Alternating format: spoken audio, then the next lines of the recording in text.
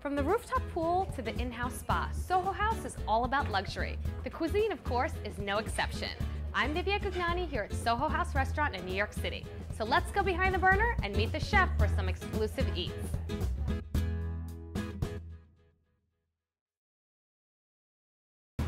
I'm here with executive chef Neil Ferguson. Neil, I see Spanish mackerel. What are we making with it? So we're going to do some lovely roasted Spanish mackerel, uh, some marinated fingerling potatoes, and some pickled red onions. Four simple ingredients. We've got white wine vinegar, white wine, uh, a little water, and then some sugar. Simple as that. We're going to just put those onto the stove to come up, come up to the boil. Once that's come up to the boil, we're going to pour it onto these little slices of red pearl onions. Oh, they're pretty. So to achieve that, all we've done is taken some little peeled pearl red onions. Use your handy mandolin. Our handy mandolin, we watch our fingers and just nice, nice and easily over the top. They're all even that way. They are all even, nice and regular. They cook at the same time. Once this is up to the boil, we're just going to pour that on top of the, the onion rings and just let it sit overnight. So the next step for our, our recipe is the vinaigrette, which is the marinade for our fingerling potatoes. So we've taken some banana shallots or torpedo shallots. Just a, Nice long ones. so two ways of doing the same job basically, two little interesting ways of cutting a really fine dice or brunoise of, of shallot. Uh, one is what you call the classic, classic technique, where we're just going to cut down really finely this way. You hold your fingers back so you don't Right, come off. make a claw with your fingers so you don't lose the tips. And then we just go down really fine. Turn it around, and then we go horizontally a couple of times. And then finally, very sharp knife, we go down the other way. So we get our lovely fine dice. And the other technique, um, pretty interesting. We're basically going to top and tail the shallot, pop those away, and we can use those to make sauces.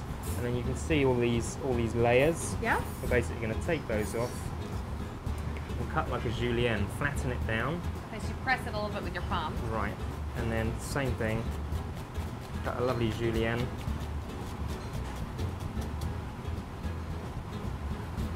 And again, turn it, And flip it, just- flip it the other way. And you get a nice dice as well. Right. So we've got a nice hot, nice hot pan here. We're going to put a little, little olive oil into the pan and just sweat those shallots so they're nice and see-through. Just, just want them translucent. Exactly that. So the shallots go in. Thank you. Throw those in. And they're super tiny. You don't want them to burn, so you got to be careful. Right, exactly. They're, they're going to cook in about 30 seconds. Just want to take that harsh edge off of them. I'm going to add a little, about a tablespoon of sherry vinegar. From Spain, Yep. And then to that, we're going to add about the same amount, again, about a tablespoon of honey. so you get the acidity of the vinegar and you have the sweetness, of the honey. So it's kind of like a sweet and sour. Right, and then add add about double the amount of olive oil. And that is basically our vinaigrette marinade that we're going to put our, put our fingerling potatoes into. And we've got our fingerling potatoes, which we've just had cooking in boiling salted water. Um, For about how long? Fingerling potatoes, they're going to take about 10 12 minutes. We've drained off our potatoes so that we can handle them. They're still very, very hot. While they're still hot, I'm just going to use a, use a cloth because they, they are super hot. I'm basically going to peel them while they're still warm. Once, we, once we've peeled our potatoes, Mhm. then going to take a little knife and we're just going to slice them fairly thick. You want to do that? Yep. And Slice so just, you know, here you want to go? Yeah, exactly that. Nice and nice and thin, and then we're going to pop those straight into the marinade. Oh, so that's nice. So you want the potatoes to be hot when they get in there? Right. So again, a nice little tip.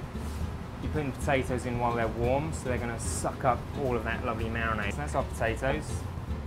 And then next up, we're going to do our mackerel. So it's time for the Spanish mackerel. Right, most important feature of the dish. Um, so we've got this lovely Spanish mackerel that we got this It's morning. this really nice shiny skin. Right, it's stunning. So it's a shame to do anything with it, really. It's I mean, great, great for sashimi. Uh, here we're going to obviously roast it, keep the skin nice and crispy. Interesting little technique to use there. We're basically going to score the skin. There's there's three reasons for scoring the skin. First is just presentation; it looks great. So the second second reason is um, just to help it accelerate the cooking process. You know, the, the oil is going to get into the. It's going to penetrate. Exactly that. Nice even cooking. And the third reason, probably the most important reason, is it's I know gonna- what this is. Right, tell me. So the skin doesn't curl up. Exactly that. It's going to relax the skin, so you're going to get a nice, flat, crisp skin. Just going to season that with some salt and pepper.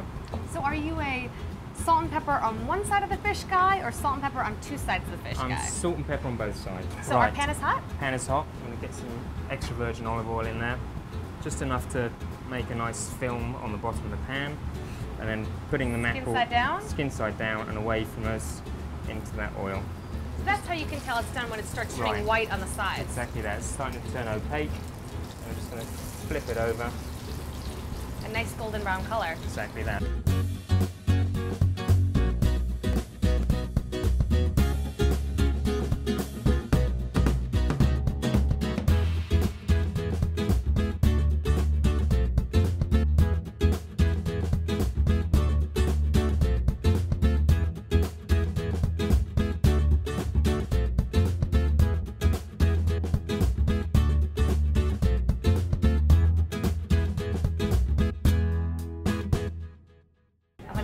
A lady and take my bite before you.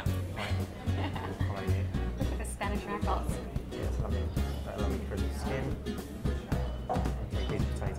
Beautiful fresh flavor. What I like about it is that you don't really do much to it. It's salt, it's pepper, it's a little bit of oil. Right. You're keeping the integrity of the fish. It's all about the product. Stay tuned to Behind the Burner, where we give you the tips, tricks, and techniques that are lighting the culinary world on fire. For the recipe, Q&A, photos, and more, visit behindtheburner.com.